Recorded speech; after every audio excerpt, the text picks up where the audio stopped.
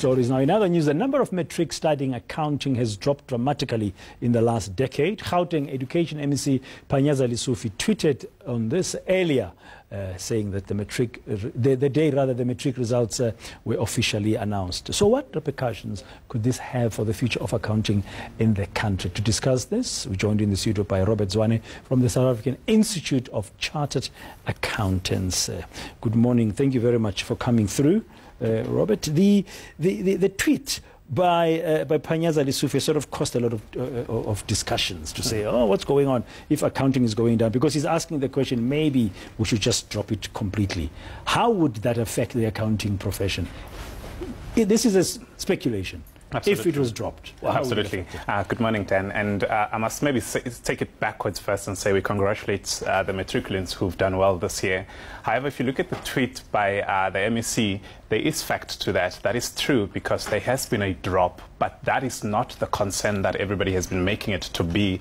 That for us is not a, an important matter. Why, How, why, why not? I we mean, would like, as an accountant, mm. you should be concerned that young South Africans are not taking the subject. Absolutely. But we look look at what is happening currently in the country, if you look at most of the universities that are, uh, are teaching accounting, they don't look at accounting from a high school for you to get into an accounting degree. So all the universities will look at a 60% in maths and English.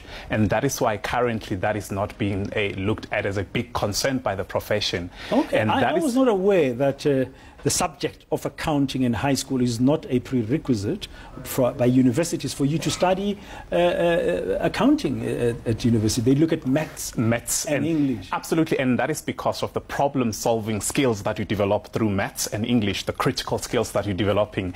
And that is why if you look at what is happening currently in the system, we would rather have uh, learners that are passing maths well so that they get into universities and get to be uh, doing accounting.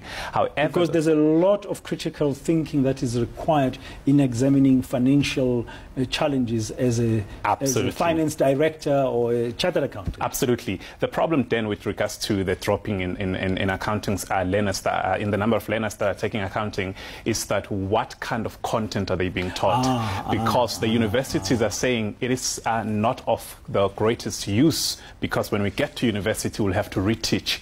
And that is why currently most of the universities are not looking at accounting. So is it the view of SAICA and, and people like yourselves who are in accounting that the curriculum itself needs to be redesigned. Absolutely. That is our view that we need to start getting to teach for the 20th century, that we ensure that as we're teaching our learners, we are integrating not only accounting, but we are integrating accounting with uh, entrepreneurship, with economics to ensure that as learners get out of, uh, uh, of school, they are relevant for the world of work, they are relevant for the, for the university. So we need to be looking at those kind of issues. So for us, the problem is not the decline in, in the number of learners taking uh, accounting, but it's is what else is happening in the background. For us, the biggest worry is the decline in the number of learners taking maths. Yes, and those, and those who, who, are passing it. Ab eh? Absolutely, yeah, absolutely. Yeah. Because if you look at uh, currently, almost around 28% of the 2019 uh, learners had maths, and only half of those, or around half of those, are passing maths. And not just passing maths, passing maths with a 60%.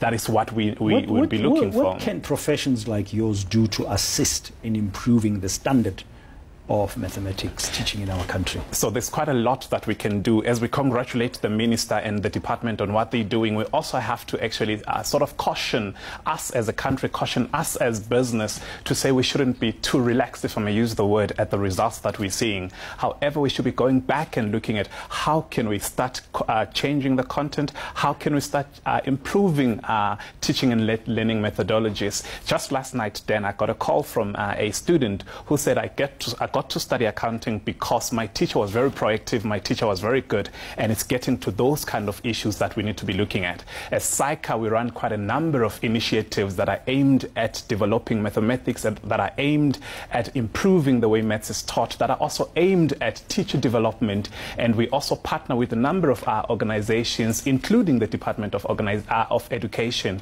to ensure that we are playing a role in making sure that we are not only just focused on the CA right at the end end of uh, the qualification process, but we go back and ensure that an interest in accounting is developed. And then on, on top of that, we ensure that those learners that are being developed also have uh, the potential to get to, uh, to a university. Now, back to accounting as a subject. Now, if the curriculum was redesigned, and the, the, the, the, department decided, yes, we, we're, we're hearing this, we're going to redesign it to meet the new world, as you said, the new business needs, your entrepreneurship, and become real, and accounting is now more applicable, would, would you also urge universities to then require it as a prerequisite into the future, So- not just mathematics and, and, and English? Absolutely. So, so uh, early, early last year in 2019, we got a call at SAICA from the then Minister of uh, Basic Education, the Deputy Minister of Education, uh, and he said he wants help in uh, digitizing uh, the textbooks for grade 10, 11, and 12.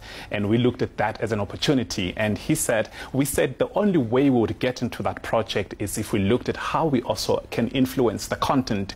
And therefore, as, a, as, a, as an organization, we then started calling out universities. And all the universities are actually quite excited because they are saying we can then start making sure that the time that is spent at university is spent focusing on the things that are, are, are the skills that we need by then pushing other things that are skills that they should be developing to a, a school level. And that ensures that when the kid gets out of our school, they've already developed some of the skills they should be getting to.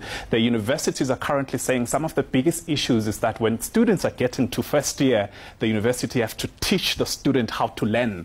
And therefore, those are the things that we need to be looking uh, at. learning skills and, and critical A- thinking. absolutely, skills. there are I'm going to be talking to uh, a, a, a matriculant who just uh, finished his matric, a young guy, Siabonga Ngumalo Mm. from Mpumalanga. You'll be pleased to know that he got 100% in science and maths. That's exactly what Those are the need. kind That's of people exactly we need. what we then need. you'll be able. But still, we need to work on the content. So Mm. Panyaza Lesufi may have caused a little bit of what, but he's raising an important point. Mm. While there's a dec- decline in the numbers, we need to look at the content. Absolutely. That's what Mm. you're saying, and also we need to continue upskilling our mathematics. Absolutely. And then focus as, and then focus as well then on, on, on the issues that are important. One is the declining in the number of us, uh, learners taking maths. Secondly, is if you look at the pool of students themselves or of learners themselves, if you go back to when they started grade one and compare that number, more than half of those students are getting to be writing metrics. So those are the things that we're looking at. So for us as the accounting profession, we're saying let's go into the content, let's go into the quality aspect of things. The numbers will actually come back themselves. Okay, Mangete, thank you very much. Thank you so very much. Robert Zwane, he's from the South African uh, Institute of Chartered Accountants. Now, let's take a